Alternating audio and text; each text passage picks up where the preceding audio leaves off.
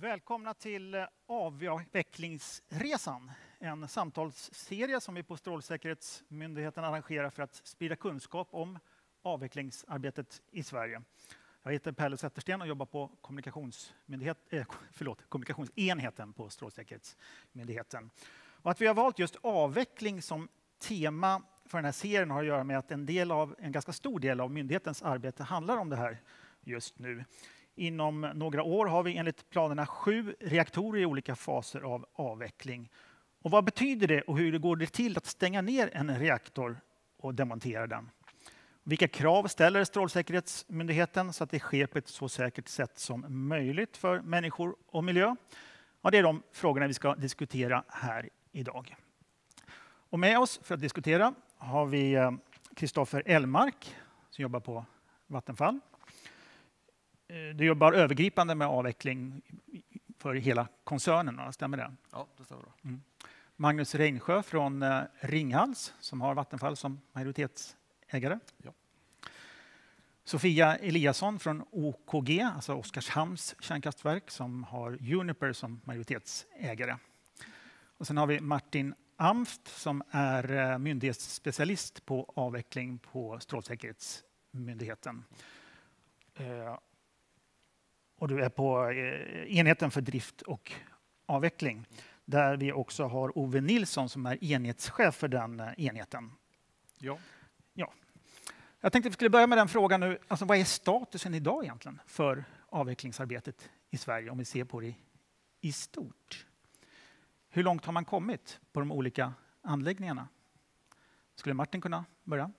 Ja, precis. Eh, men då är det så, sammanlagt har ju Sverige haft 12 kommersiella kärnkraftverk i drift fram till 1999 eh, då man av eh, politiska skäl eh, stängde av Barsebäck 1. Och sen sex år senare, 2005, stängde man av eh, Barsebäck 2. Då. Um, de andra tio reaktorerna var i drift fram till ja, delvis fram tills nu. Så Oskarshamn 2 var då den första som man bestämde sig av ekonomiska skäl att ställa av 2016 och sen 2017 Oskarshamn 1 och de två tillkommande reaktorer som ska ställas av enligt nuvarande planer i slutet av det här året och nästa år är Ringhals 2 och Ringhals 1. Uh, eh, dessutom har vi den ibland lite bortglömda reaktorn i Ågesta som är i servicedrift, alltså avställd sedan 70-talet, som också ska demonteras och rivas nu så småningom. Mm. Vi ska fokusera på de eh, större eh, elproducerande kärnkraftsreaktorerna i drift och kanske inte så mycket Ågesta som ju drevs på 60-70-talet, men även om vi kan nämna det. Eh, Sofia, hur långt har ni kommit på OKG där ni har både en reaktor i drift och två som är avvecklade? Eh, så långt som vi har kommit på OKG det är att vi har avlägsnat allt eh, bränsle och placerat det i CLAB som är det centrala mellanlagret för använt kärnbränsle. Vi har också fått eh, erhållit en miljödom enligt eh, miljöbalken för nedmontering och rivning och eh, vi har fått en godkänd säkerhetsredovisning enligt eller kärntekniklagen då, eh, för Oskarshamn 1 och vår avfallsanläggning. Och, eh, vi är på väg, vi har segmenterat interndelar på Oskarshamn 2 och är på gång på Oskarshamn 1 med interndelarna, reaktorns interna delar där. Då. Mm. Och mm. Magnus eh, Ringhals, hur ser planerna hur förbereder ni er inför kommande avveckling av en reaktor i, i år, då, som Martin sa, nästa reaktor nästa år? Eh, vi ligger som sagt eh, steget efter. Vi har ännu inte eh, slutligt stängt av någon reaktor utan vi gör det som Martin sa en i år och en nästa år. Utan vi har ju sedan beslutet om att vi skulle stänga av som kom 2015 så har vi varit i en planeringsfas och där delar vi lite på, på uppgifterna med centrala delen av Vattenfall som, som planerar för att genomföra själva rivningen medan vi i Ringhals koncentrerar oss på, på att slutföra driften, att sen eh, göra avställningsdrift, alltså den, den period som OKG nu har tagit sig förbi där vi ska eh, forsla bort bränsle, och göra en del andra förberedelseåtgärder, både tekniskt men eh, också en hel del organisatoriskt inför, inför kommande avveckling. Mm. Det pratas väldigt mycket om avveckling av kärnkraftsreaktorer, inte bara i Sverige utan i hela världen. Och just nu pågår det ett avvecklingsseminarium här i dagarna två. Ove, eh, hur kommer det sig att det är så mycket reaktorer som ska avvecklas just nu, eller i alla fall de kommande åren runt om i världen? Ja, en, en orsak är väl eh, att hela kärnkraftsindustrin eh, började ju byggas någon gång på 60-70-talet. Det finns väldigt många reaktorer som är, har passerat sin te tekniska livslängd. Sen har det varit andra orsaker till att anläggningar ställts av. I olyckan i Fukushima gav ju den, den konsekvensen att Tyskland bestämde sig att avveckla sin kärnkraftsflotta och det hade vi kanske viss påverkan i Sverige också. Så, så det är väldigt många orsaker till det. Så det är väl någonstans 170 reaktorer runt om i världen som på något vis är, befinner sig i planering eller under avveckling. Så det är väldigt mycket som pågår. Det märks, märks inte minst med eh, intresset eh, i, i Sverige och för avvecklingsseminariet som vi har haft första dagen idag. Och även internationellt också så pågår det väldigt mycket arbete med just avvecklingsfrågor. Och det finns väldigt mycket samarbete i, inom hela den nukleära sektorn kan man säga internationellt. Vi har väldigt mycket att lära av varandra. Och du säger att ni har mycket att lära av varandra. Vad är det ni lär av varandra då egentligen mer konkret? Vem vill svara på den frågan? Martin? ja, det beror på.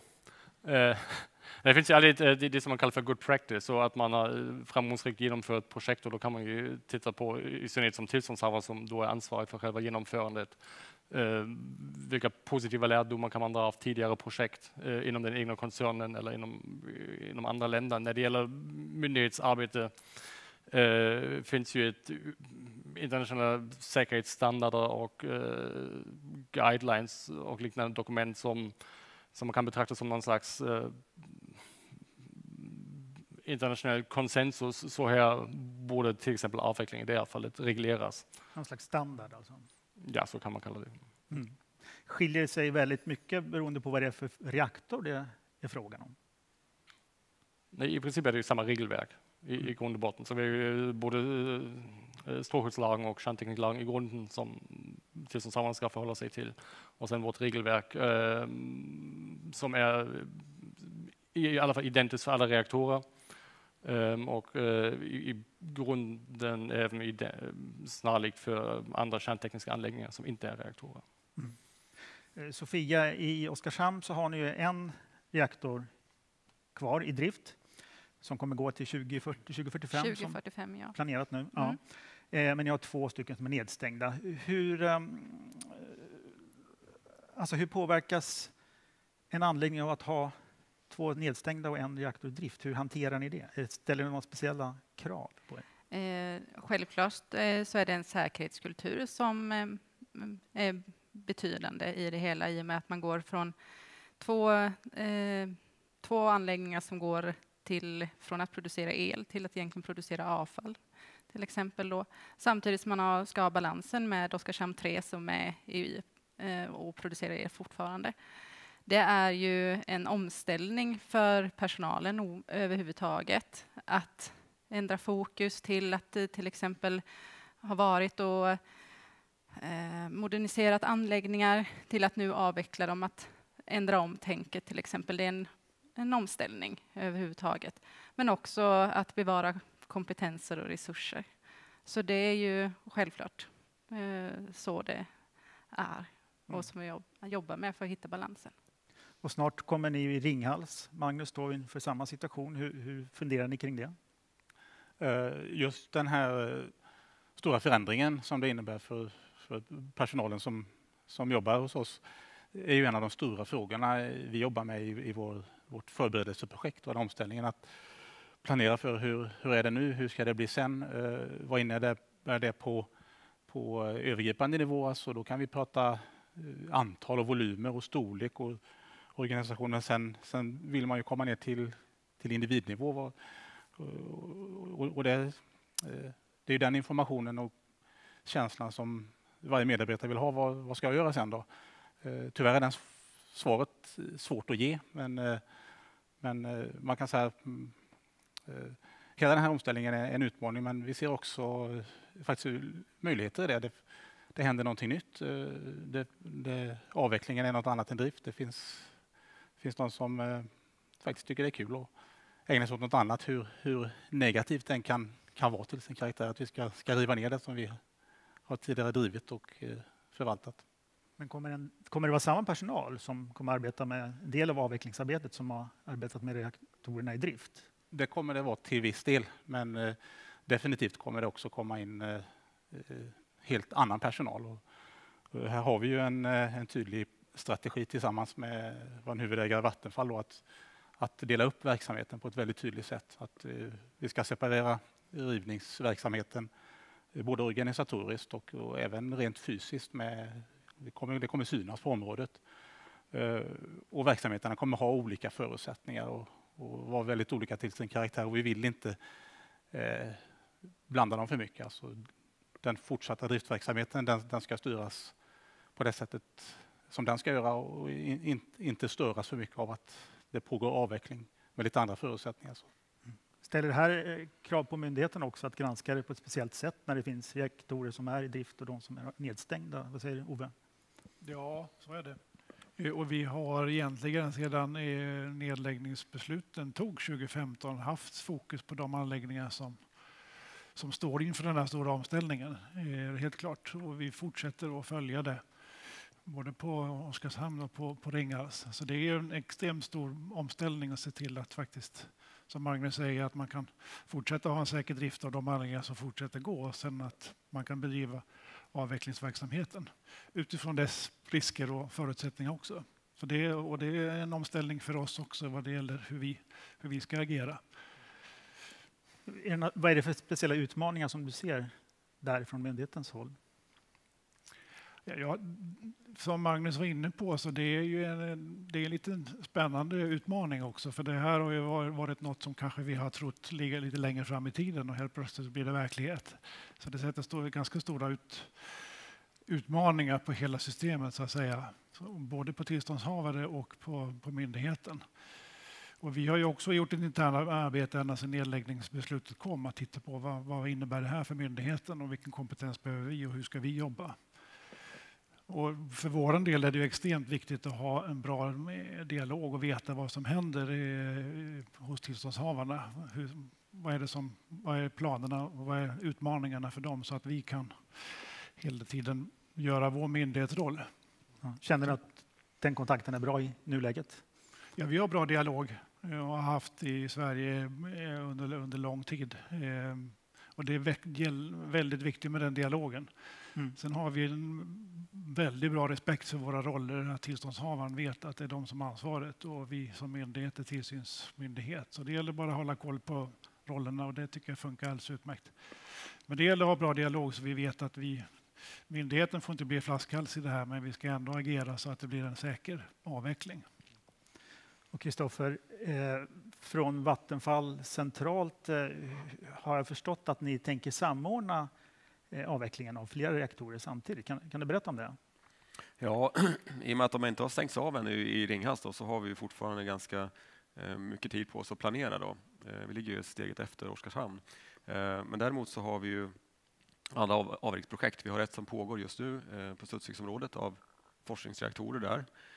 Och vi tänker ju att dra nytta av de erfarenheter som byggs upp där. Naturligtvis har vi ju tittat på erfarenheter runt om i världen också som vi pratade om tidigare men vi har ju inhouse erfarenhet så att säga, både därifrån och ehm, det projekt som ligger närmast för oss att starta upp det är ju avvecklingen av Ågesta reaktor som vi nämnde tidigare. Ehm, och det blir ju en, en eh, så att säga, plantskola för de som ska eh, riva ner i Ringhals så småningom. Så det finns en fördel att hålla det här hålla samman hela projektet?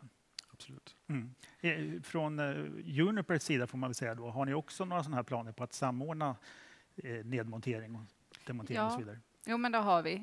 Inom Uniper så har vi tillsammans med Barsebäck. Eh, Barsebäck 1 och 2 ska ju också avvecklas och nedmonteras och rivas. Så att eh, det, har, det finns ett samarbete tillsammans kopplat till planering och upphandling av leverantörer och så vidare för att kunna starta 2020. Och ni nämnde nu Barsebäck och Ågesta. De har stått ganska länge utan att så jättemycket har hänt. Jag vet att man gör en del arbeten i Barsebäck nu, men varför har det tagit sån tid? Varför har man inte kommit igång tidigare? Ågesta är lite speciellt. Eh, när man stängde av Ågesta så valde man ju aktivt att vänta med avvecklingen tills det att man hade ett slutförvar på plats. Eh, nu, nu är ju inte slutförvaret för rivningsavfall färdigbyggt än. Men vi ser ändå att förutsättningar finns för att påbörja avvecklingen. Vi har möjlighet att mellanlagra avfallet. Eh, det var ju ändå 1974 som det stängdes och då fanns det inga slutförvar alls på plats i Sverige. Nej, och, men när det gäller Barsebäck? Eh, vad det gäller Barsebäck så var det ett politiskt beslut att stänga Barsebäck.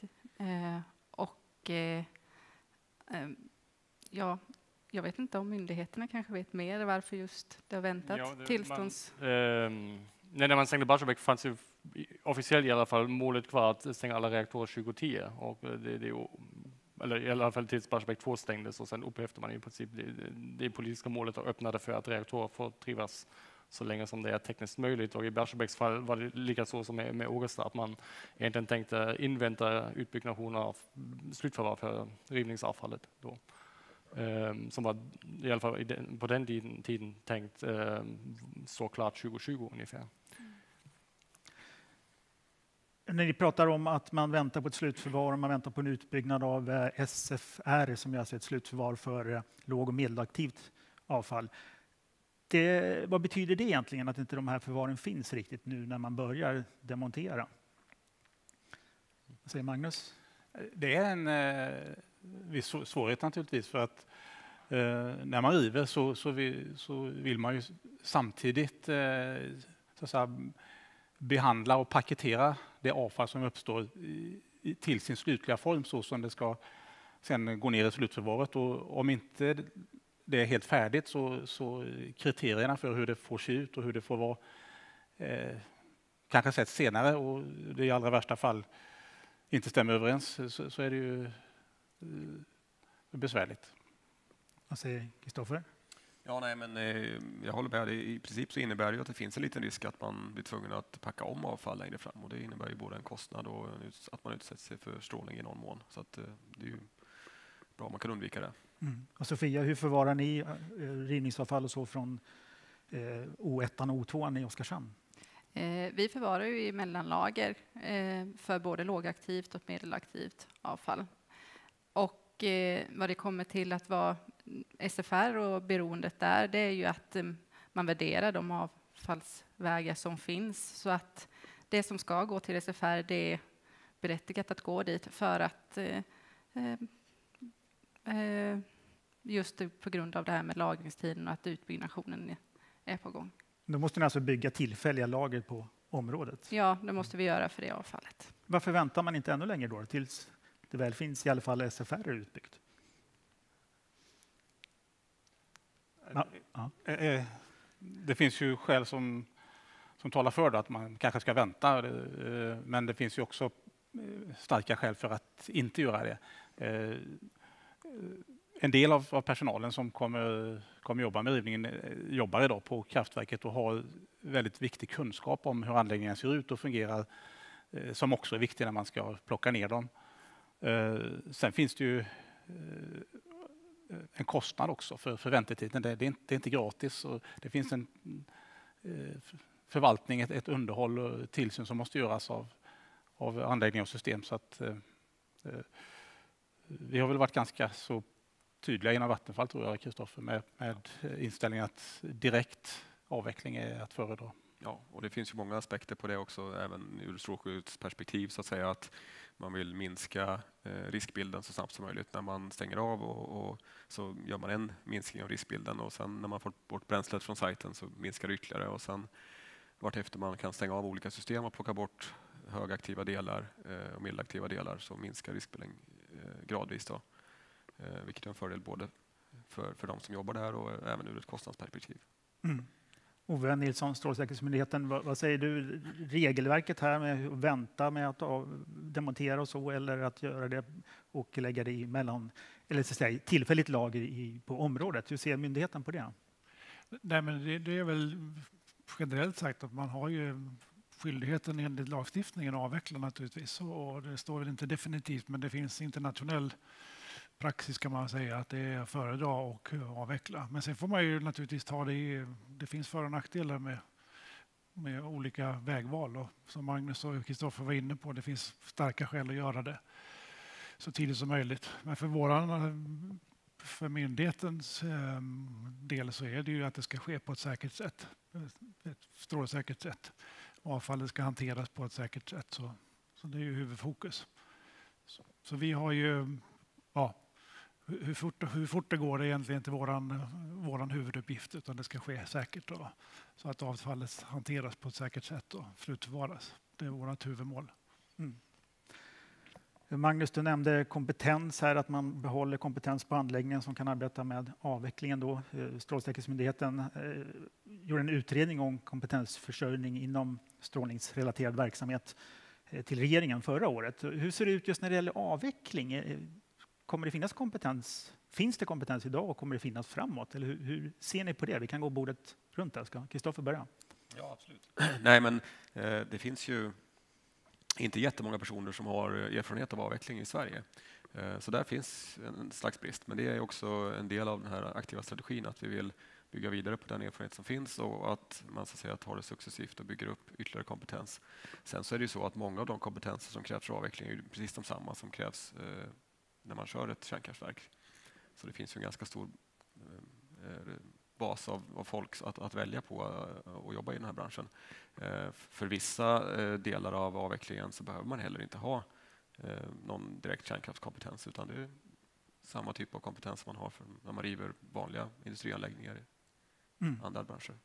Magnus, hur ser det ut på Ringhals? Eh, man säger, vårt perspektiv på kompetensfrågan eh, är ju kanske lite mer begränsat då än hela avvecklingen. Eh, vi, vi koncentrerar oss ju framför allt på att vi ska ha den kompetens och den bemanning som, som behövs för att kunna driva anläggningarna på ett säkert sätt eh, fram tills driften upphör, inklusive avställningsdriften på, på ett par år. Eh, vi fick beslutet 2015 och då hade vi alltså fyra till fem år kvar att köra och det var en av de omedelbara insikterna att eh, det här måste vi eh, säkerställa att vi har kompetens, att vi har eh, rätt bemanning. Och, eh, det är en ganska viktig del i vårt omställningsarbete och, följa det väldigt, väldigt aktivt. Eh, säkerhetskulturen måste bibehållas på topp. Man får inte, inte sluta springa som, eh, som en del fotbollsspelare gör i, i 80 minuten, utan hela vägen in i mål. Kan det vara så att man kan ta in kompetens från andra länder om det behövs? Eller ser ni att det finns ett behov av det? för vårt behov för att klara driften och avställningsdriften tror jag det skulle vara väldigt långsökt. Mm. Sofia, hur tänker du kring kompetensförsörjning inom avveckling? Eh, jo, men det är ju både ja och nej på frågan om det är en brist eller om det är en, osä alltså, eh, en brist på kompetens. I och med att eh, delar som handlar om radioaktiva kunskaper och så vidare som radiofysiker eller strålskyddstekniker och strålskyddare och så, det är ju en brist i det, men det behövs ju också under drift, inte bara under avveckling. Eh, däremot sådana eh, åtgärder som under nedmontering och rivning och som Kristoffer var inne på, som är konventionell rivning, då kan man ju hämta erfarenhet där och även lära upp för den eh, radioaktiva rivningen. Så ni har ungefär samma strategier, ja. kan man säga. Samarbetar ni någonting kring de här frågorna? Företagen emellan? Jo, men det finns ju forum inom Sverige där vi samarbetar och träffas inom företagen, både inom Vattenfall och Uniper och även inom olika eh, sakfrågor också. Men inte bara diskutera utan också göra arbeten tillsammans, eller hur ligger det till med det? Eh, det är ju både och, eh, oavsett, alltså lite beroende på vad det är för strategiska frågor eller andra sakfrågor. SKB är ju en stor nyckel ett stort nyckelföretag i det hela och där är det också arbetsmöten och forum som vi tillsammans tittar på. Mm. Det är en hel del erfarenhetsutbyte som du nämner och det är inte bara inom branschen i Sverige utan även internationellt. Många, både från våra företag och antar jag, eh, deltar i internationella konferenser och liknande för att få in erfarenheter utifrån. Men det finns ju även exempel på där man, så att säga, man kan låna verktyg mellan de olika. Barsebäck har ju en utrustning som de har använt nyligen då, och som förmodligen kommer att användas i Ringhals sen också, kanske även Oskarshamn. Så att det, det finns ett utbyte även på rent operativt. Ja. Vad säger Martin Ampt om eh, kompetensförsörjningen på, på lite längre sikt? Um, om man nu fokuserar lite på myndigheten till exempel, um, kunde man säga vi analyserade noggrant när vi fick uh, avstängningsbesluten 2015 vad, vad det innebär för myndigheten och det som vi gjorde då var ju titta på tillståndshavarnas tids, alltså, eh, tidsplanering ehm, och analysera vad betyder det för oss. När förväntas vi hantera till exempel en tillståndsprövning eh, och liknande. Och då kan man ju försöka uppskatta vilka resurser behövs på myndighetssidan så att man inte blir en flaskhals, i synnerhet när nu så många projekt pågår i princip parallellt. Ehm, och så vidare. Så det, det, det, har vi ju hanterat och då hade man ju två, tre år på sig och eh, kunde bemanna upp på myndighetssidan med, och skaffa sig den kompetens också. Men det, det fanns ju inte så extremt många vi, inspektörer inom avveckling heller. Så, så vi fick ju utbilda oss själva. Eller, eller man fick ja, utbilda sig genom till exempel internationella kontakter eller eh, liknande. Men är det stor skillnad på tillsynen på en anläggning som är i drift och en som är under avveckling? skulle du säga? Inte i princip, så det är väl det är lite olika det är olika verksamheter. Så under driften har man är en periodisk verksamhet som eh, ska, och en anläggning som helst inte ska förändras. Det är lite grundtanken, förutom om man gör ombyggnationer. Under nedmontering och rivning är det mer projektbaserat. Eh, man gör saker bara en gång, till exempel genomför ett projekt. Ehm, så eh, som tillsynsmyndighet har man ju, om man vill utöva tillsyn för ett visst projekt, då har man i princip en chans. Så, det kom, ja. Eh, så man måste anpassa eh, sin verksamhet på det sättet. Men själva hur man genomför tillsyn och eh, just strålskyddsrelaterade frågor, avfallsrelaterade frågor, det är snarlikt som tidigare. Mm. Vad säger Ove? Hur ser du på inom hela sektorn? Kompetensen här? Hela, ja, det man kan säga generellt som jag tror Magnus var inne på det, att vi har inte haft speciellt svårt att rekrytera ny personal. Det kan man väl säga som är positivt. Det finns faktiskt väldigt många som tycker att det är en spännande utmaning, att eh, det händer någonting nytt. Så det har vi har haft förhållandevis eh, enkelt att rekrytera. kan man säga. Sen är ju hela den utredningen som myndigheten gjorde, det var ju det vi pratar om nu är en ganska liten del den utredningen. Det här med strålskydd eh, och eh, strålning är betydligt mycket större än kärnkraftsverksamheten, helt klart. Det finns i, i läkemedel, i inom medicin och tandläkare och, och i övrigt också. Så det är en mycket, mycket större apparat. Så, så förhoppningen för, för vår del är väl att naturligtvis att det får en, en, en uppmärksammas och att det finns, eh, att vi får lite mera medel till vår forskning och hela den, hela den strål, strålsäkerhetsbranschen eh, kan, kan få större uppmärksamhet, för det behövs. För det finns på, på många ställen i samhället. Mm. Men du ser inte att det det här kommer vara en stor fråga för just avveckling, att det inte finns personal nog, att man får ta in personal från helt andra håll? Ja, nej, inte, inte som jag kan se nu. Nej, faktiskt. Och det har ju blivit på senare tid så har det eh, startat utbildningar inom, inom branschen. Det har ju varit en, en, en liten dipp ett antal år efter nedläggningsbeslutet men nu satsas det ju på gemensamma utbildningar i branschen så jag tror att det kommer att attraktionskraften kommer nog komma tillbaka när man inser egentligen vad, vilka utmaningar som finns här. Mm. Och det är ganska långt framöver i tiden också. Och vi ska säga det också att det kommer vara sex reaktorer kvar i drift i, i Sverige under en period också. Så att det, allt ska inte avvecklas. Men om vi tittar konkret på hur det går till att avveckla en reaktor. Vad, vad är det första, det första man gör? Sofia kanske kan berätta, ni som har genomfört det här nu. Ja, det första är ju att eh, det är ju mycket administrativt arbete överhuvudtaget. Eh, se igenom avvecklingsplan och avvecklingsstrategi, mycket strategiarbete och, och kopplat till avfallsplaner och så vidare också. Och tillståndsansökningar, underlag till att ta fram eh, tillståndsansökningar. Sedan så är det ju avlägsna anläggningarna på bränsle till exempel. Så bränsle är det man tar bort först då? Ja. Vad är nästa del som man inte vill ha kvar i anläggningen? För vår del har det ju då varit att vi har påbörjat segmentering av interndelar i reaktorn. Eh, och eh, Barsebäck till exempel har ju genomfört en systemdekont, eller man har eh, rengjort systemen på kontamination. Och interndelar, får du berätta vad, vad det handlar om? Ja, interndelar, det är reaktorns interna delar som hjälper till i processen för att ja, producera elen då, kortfattat. Mm. Man kan säga att det är de, de mest aktiva delarna som finns kvar när man plockar bort bränslet helt enkelt. Eh, det finns ju ingen eh, internationell konsensus om eh, vilken väg, vad man ska ta bort först, så att säga, förutom bränslet. Men det är ändå väldigt vanligt att man börjar med att plocka de sakerna som har mycket aktivitet och sen så sparar man och så de sakerna som har lite mindre aktivitet till senare. Så att säga. Man kan också mm, börja på flera ställen samtidigt och arbeta parallellt. Då. Eh, och tittar vi på de erfarenheter vi har från Studsviksreaktorerna så var det samma sak där, att vi började med de mest aktiva delarna, själva reaktortanken och interndelarna till reaktorn och, och sen kom vi oss på det som var runt omkring efteråt. Och själva reaktortanken är ju oftast ganska stor. Den sågas isär då, eller hur, hur går man tillväga? Sönderdelas med någon metod. Det kan vara sågning, kan vara laserskärning. Och jag har förstått att man behandlar avfallet lite olika. En del, på en, del, en del länder så sågar de ner det till väldigt små delar. En del har större delar. Hur resonerar ni kring det? Hur man ska behandla avfallet? Eh, hur mycket man segmenterar till exempel eller kapar en del, det beror lite på vart det ska ta vägen. Ska det friklassas till exempel och gå ut för eh, konventionellt avfall, då kanske man inte behöver, det beror på komponenten och storleken för att kunna friklassningsmäta det här. Ska det, och sen beroende på vart det ska så är det olika storlek på det.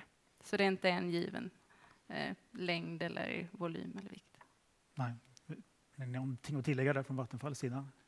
Hur man tänker säga, när, när vi pratar om de här mer högaktiva delarna som reaktorstanken och dess interndelar så är det ju eh, det, den, den slutliga Eh, förpackning som det här avfallet ska få som, som styr. Eh, och där finns det då liksom standardiserade lådor eller containrar av betong eller stål och storleken på dem avgör i hur, hur små delar måste jag stycka. Bitar. Och när du pratar om reaktortanken till exempel, då är, är det så att eh, man måste göra det här med robotar eller hur, hur pass nära kan man komma det här materialet och hantera det för att lägga det i rätt kolli så att säga?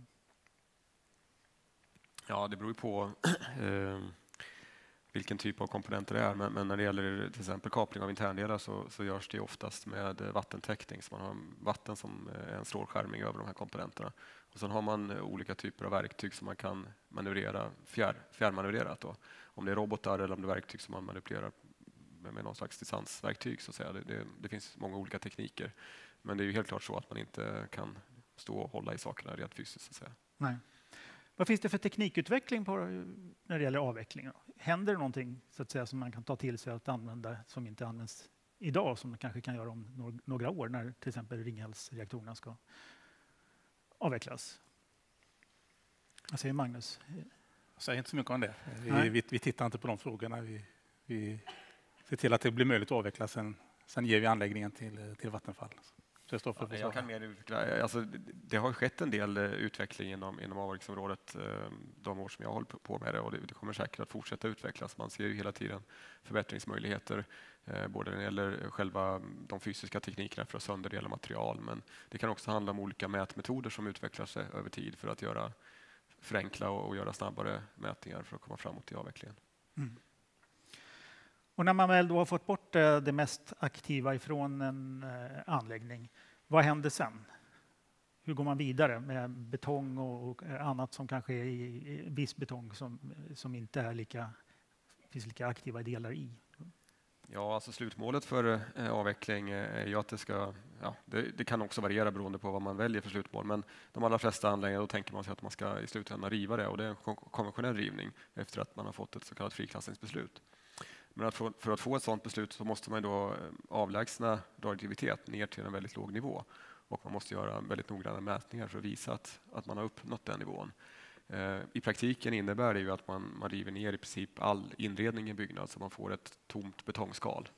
Eh, och sen eh, gör man mätningar och så bör man hacka bort lite betong från vissa ställen där det kanske finns radioaktiv kontamination. Eh, och sen gör man ytterligare mätningar och till slut så har man visat att, att alla kvarvarande betong strukturer ligger under de här friklassningsgränsvärdena som finns för och, och, då är man i princip klar med den radioaktiva avvecklingen. Mm. Hur mycket handlar det om i, om man säger i vikt i en reaktor när det ska avvecklas? Hur mycket är det egentligen det handlar om om man jämför med någonting annat? Martin? Um, så en typisk kokvattenreaktor som uh, Oskarshamn och Barsebäck har till exempel, då har man väl en sammanlagt massa om storleksordning 300 000 ton material.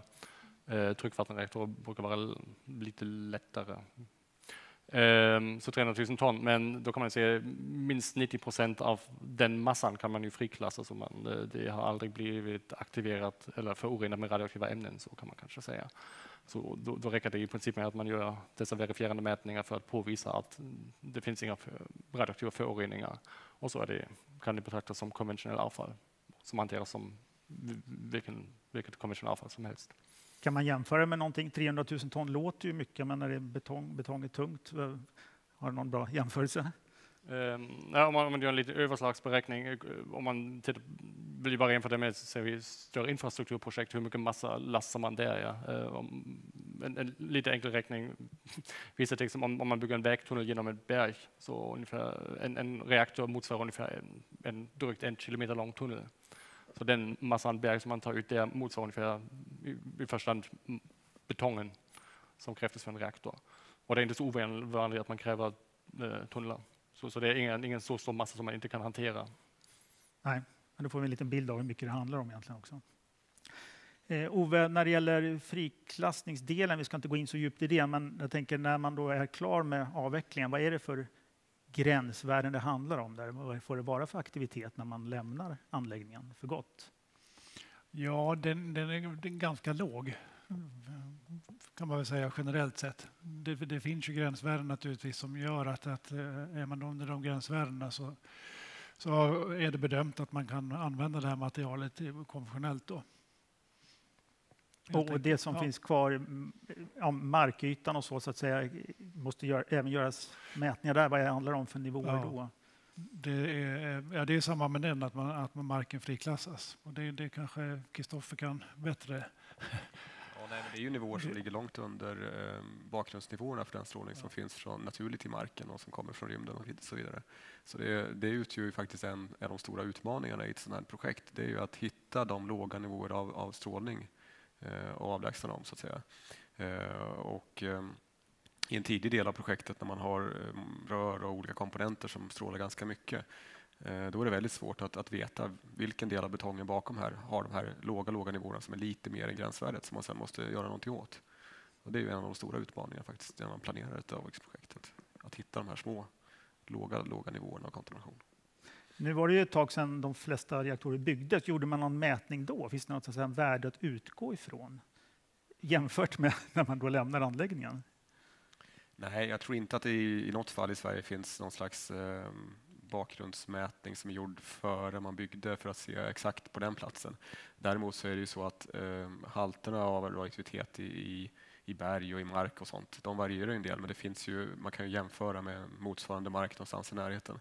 Dessutom är det ju så att de radioaktiva ämnena som finns naturligt i marken för det mesta skiljer sig åt från de som kommer från verksamheten. Och det går att mäta och tala om vad är bakgrund och kommer är naturligt och vad är det som har tillförts så att säga, i processen. Just det, så det går ganska lätt att skilja dem. Ja, för det mesta. Mm. Vad är den största utmaningen egentligen då, som ni ser det allihopa här nu med avveckling? Det, ni har haft eh, avvecklingsseminarier ett par år i rad. Där. Vad, är det, vad är det stora som man diskuterar? Vad skulle du säga Martin som håller de här avvecklingsseminarierna? Ehm, det beror väl på var man befinner sig på avvecklingsresan, för att använda det begreppet. Ehm, om man är i en tidig fas ska man ju för det första planera för att ställa av sin anläggning. Sen har, man, har vi pratat om tillståndsgivningsprocessen, det kan ju vara en utmaning. Eller man vill byta ägare, Eh, eller tillstånd snarare sagt. Ehm, um, så, så det beror lite på. Och sen eh, när man väl vill genomföra själva projektet är det ju att, som sagt, ehm, anpassa sig till den nya verksamheten som är mer projektbaserad istället för att hålla en anläggning i drift och eh, ha sig periodiskt underhåll och, och, så, vidare. Um, det, ja, och, och sen när man närmar sig väl slutet och har hanterat allt sitt kärnavfall kunna verifiera att man har uppfyllt alla sina skyldigheter på förläggningsplatsen som Kristoffer um, var inne på. Att man kan faktiskt visa att man har tagit hand om alla de radioaktiva ämnen som kom från den egna verksamheten. Mm.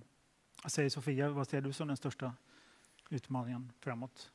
Nej, men jag håller ju med Martin i mycket av vad han säger och eh, för vår del så har det ju varit en utmaning i allt det här med omställningen att eh, fokus från drift till avveckling. Eh, det är ju en stor utmaning, men också det här med eh, tydligt slutmål på avvecklingen och eh, att ha bra kommunikation gentemot myndigheter och övriga inom branschen, att vi har bra kommunikation och samarbete. För vi har ett slutmål som vi ska nå som är gemensamt också. Mm. Mm det. här med alla olika avfallsfraktioner, då, är, det, är det också en svårighet att liksom kunna sortera och ha det lagrat på speciella ställen? Eller hur ser ni på det? Det rent faktiska där med avfallet i olika lådor och så. Är, är, det, är det en svårighet eller är det bara att bestämma var det ska stå och sen så står det där? Nej, men det är absolut en svårighet. Ehm, det är nog en av de stora utmaningarna skulle jag säga när man har kommit en bit i ett avfallsprojekt. Det, är att eh, det, blir ganska stora mängder avfall och det är många olika sorters avfall och man måste hålla isär dem och mäta på det och så vidare. Så det är en ganska stor logistisk utmaning att hålla koll på allt sitt avfall, hålla koll på alla mätvärden och sen att, det, att man hela tiden skickar det till rätt slutdestination så att säga. Mm. De som bor i närheten av, av ett kärnkraftverk som håller på att eh, avvecklas, behöver de känna sig oroliga på något sätt? Att det skulle bli högre aktivitet i radioaktiva partiklar i luften eller så? Eller vad säger ni om det? Eh, vi har gjort, eh, och det är ett, ett, eh, ett, krav att man ska göra särskilda analyser som, som bedömer just vad, vad, vad rivningsverksamheten skulle kunna ge för, för påverkan på omgivningen. Och, vi, vi är i slutfasen av våran sådan analys och har gjort den redan. Men de visar ju entydigt att det, det finns liksom ingenting i avvecklingsverksamheten som, som överhuvudtaget kommer påverka omgivningen eh, om, vi pratar eh, eh, strålning. Det kan vara konventionella transporter och så det kan det sedan vara, ja. när man väl kör iväg ja. materialet. Ja. Mm. Är det Sofia, har samma uppfattning? Eller? Ja, absolut. Och sen i samband med att vi påbörjar tillståndsprocessen så bjuder man ju även in till samråd med närboende där de får möjlighet att ta del av hur man tänker sig göra eller genomgå avvecklingen och så vidare. Och de har möjlighet till att ha en dialog med oss. Och eh, från OKGs eh, perspektiv så har vi en bra dialog med de närboende och övriga inom kommunen också. Mm. Vad säger Ove Nilsson, Strålsäkerhetsmyndigheten, om just aspekten med närboende? Om, om närboende? Nej, men jag håller ju med. Det är ju som sagt som vi har sagt, att det är en helt annan verksamhet när man går in i, i avvecklingen. Och Målsättningen i, när man går från drift till avveckling eh, det är ju som sagt att ta bort de stora riskerna så fort som möjligt. Ta bort bränslet och man har reducerat riskerna ordentligt. Så... Um, sen borde man kanske tillägga ehm, under drifttiden har man ju viss utsläpp, eller en liten utsläpp av radioaktiva ämnen från själva verksamheten. Och det godkänns ju av myndigheten. Så man godkänner i princip ett nivå som är Eh, som vi betraktar som acceptabelt och redan under driften ligger man långt under dessa nivåer när det gäller utsläpp av radioaktiva ämnen från verksamheten. Och nivåerna är ju ännu lägre under själva avvecklingen, så man till exempel i Barsebäck. Om man då tittar på, man kan ju faktiskt räkna ut vilken konsekvens det ger till närbefolkningen eller lokal, eh, personer i närheten av verket då. Och jämfört med den naturliga bakgrundsstrålning är det ju storleksordningar lägre än det som man får ändå genom att bo och äta det som man äter. Ja. Man ska komma ihåg att eh, avvecklingen handlar om att ta bort aktivitet från anläggningen. Så att eh, det blir mindre och mindre risker ju längre fram man kommer ur ett radioaktivitetshänseende. Ehm, och även för de som jobbar i anläggningen så blir det mindre och mindre risker att utsättas för strålning. Ehm, det som är viktigt att komma ihåg är att eh, det som däremot ökar i, i risk under ett avvecklingsprojekt är ju faktiskt risker för konventionella arbetsolyckor och så. Ehm, när man driver ett kärnkraftverk så har man inte alls den typen av risker.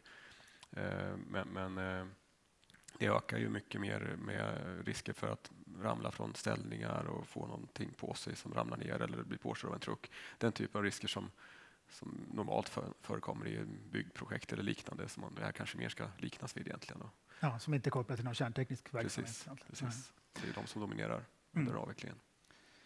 Det går snabbt när man har roligt och tiden är snart slut. Men jag tänkte att ni bara jättekort var och en kan säga någonting om nästa steg här nu. Vad, vad, vad gör ni från Vattenfalls sida? Efter avvecklingsseminariet är slut, vad hugger du tag i då? Ja, jag är mitt uppe i förberedelserna för att börja avveckla i Ågesta. Eh, så att vi är inne i tillståndsprocesser där och upphandlingsprocesser och förberedelser för att starta avvecklingen där uppe. Mm. Och Magnus Ringsjö? Vi jobbar på med vår omställningsplanering, både personalmässigt också att eh, direkt efter driftens upphörande kunna bli av med bränslet så fort som möjligt, för det, eh, det vill vi göra. Sofia Eliasson? Ja, på, i, på HG så är det eh, planerat en eh, systemdekont för eh, Förlåt, det får du förklara. för systemdekont, ja, det var som jag sa förut att man avlägsnar eh, radioaktiv förorening i system som finns i anläggningen. Då. Så att den är planerad till eh, nu under våren och eh, annars är det väldigt högt fokus på planering inför start 2020. För, och då är det planerat att vi ska gå in och ta turbin på OKG och reaktortanken på Barsebäck. Mm. Och från myndighetens sida, Martin Amft? Ehm, I första hand skulle jag säga det Oskarshamn 2 har ju kommit, eller OKG har inkommit med en ansökan avseende Oskarshamn 2 att påbörja en liten rivning av den. Det, då har vi en pågående granskning som ska avslutas eh, i april. Um, Barsebäck ska komma in med en liknande ansökan och sen ja, på sikt även Ringhals och Ågesta redan i år. Och dessutom ska vi även utöva tillsyn över de redan pågående projekt som vi var inne på. Oskarshamn 1 har ju, ska segmentera sina interndelar. Ehm, så det är både tillståndsprövning och ehm, tillsyn. Och Ove Nilsson har något att tillägga där från myndighetens sida? Ja, nej, men vi har mycket att göra och, och som sagt, det, det, hela den här avvecklingen sätter ju enorm press på hela systemet. Eh, från tillståndshavare till myndighet och till SKB och, och hantering av avfall. Här. Så. Men vi har, eh, vi har bra dialog och vi har bra koll på vad som händer så vi har, vet vad vi ska göra framöver här. Så. Mm. Man, man kan nästan säga att det har blivit en slags avvecklingsbransch med alla de här olika projekten runt om i världen. Eller är det, för starkt uttryck? Definitivt. Det är definitivt en avvecklingsbransch. Det, det är också så att eh, vi pratade tidigare om det här med kompetens och så. Det är ju inte bara vi som är tillståndshavare som står för en del av den kompetensen. Utan det finns ju många leverantörer också som hjälper oss med det här. Ja. Det, är, en, det är verkligen en bransch. Det får bli sista ordet. Tack för att ni kom. Sofia Eliasson från OKG, Oskarshamns kärnkraftverk, Magnus Reinsjö från eh, Ringhals, Vattenfall, eh, Kristoffer, eh, förlåt, jag måste titta på pappret, Eh, Elmark. Kristoffer Elmark från Vattenfall och Martin Amft och eh, Ove Nilsson från Strålsäkerhetsmyndigheten. Tack. Tack. Tack.